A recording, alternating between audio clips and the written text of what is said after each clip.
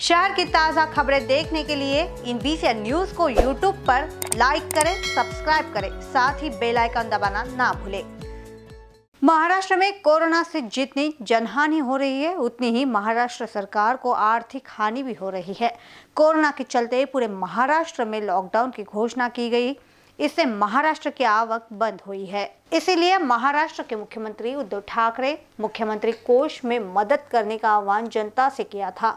मुख्यमंत्री के इस आह्वान से महाराष्ट्र के छोटे बच्चों से लेकर बड़े व्यापारियों ने कोष में मदद की। अब इसी कड़ी में शहर के लता मंगेशकर अस्पताल का नाम भी दर्ज हुआ है। कांग्रेस नेता रंजित देशमुख इनके चौहत्तरवे जन्मदिन के अवसर पर अस्पताल के सभी कर्मचारियों ने चौहत्तर लाख रुपयों की मदद मुख्यमंत्री कोष में की है। इस राशि का चेक शुक्रवार को हिंगना स्थित लता मंगेशकर अस्पताल के मातोश्री सभागृह में विभागीय आयुक्त संजीव कुमार इन्हें दिया गया। इस कार्यक्रम में रंजित देशमुख, आशीष देशमुख और अस्पताल के सभी कर्मचारी उपस्थित थे।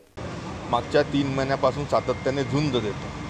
शासनाला मदत व्हावी यासाठी सर्व कर्मचारी वृंदांनी मिळून आमचे वडील रणजित भाऊ देशमुख साहेबांच्या चौऱ्याहत्तऱ्या वाढदिवसाला चौऱ्याहत्तर लक्ष रुपये आज दान केलं आहे खऱ्या अर्थाने शासनाला मदतीसाठी विविध संस्थांनी आणि जनसामान्यांनी समोर येण्याच्या दृष्टीने प्रयत्न व्हावा या दृष्टीने आमचा हा लहानसा प्रयत्न आहे.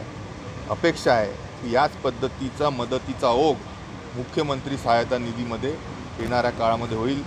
रणजितभाऊ देशमुखांनी आपलं आयुष्य हे जनसेवेसाठी घातलं आहे आणि म्हणून लता मंगेशकर हॉस्पिटलनी जवळपास तीनशेपेक्षा जास्ती खाटा या कोविड एकोणीसच्या लढाईमध्ये आम्ही त्याच्यासाठी शासनाला दिल्या देऊ केल्या त्यासाठी सुसज्ज असं हॉस्पिटल कोविडसाठी आम्ही रणजित भाऊ देशमुखांच्या वाढदिवसानिमित्त ते देखील शासनाला देऊ. केलं